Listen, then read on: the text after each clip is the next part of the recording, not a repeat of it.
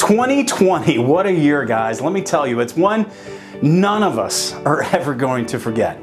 It's tested our spirit in every way possible.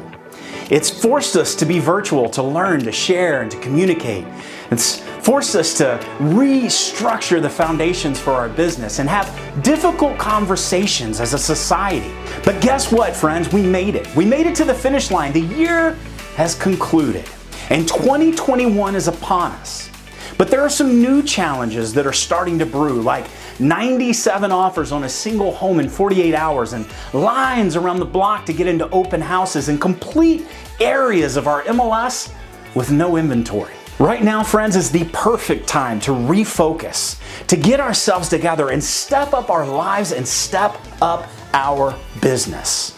The Austin Board of Realtors is proud to bring to you Step Up 2.0. From February 1st to February 5th, a week long challenge where we'll meet each day for an hour from 10 a.m. to 11 a.m.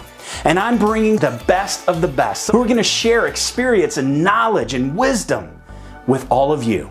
So the bus to greatness, it's getting ready to leave the station, friends. What are you going to do? Are you going to jump on board and join us and bring the energy? We're going to dance, we're going to cheer, and we're going to go into 2021 like no year before.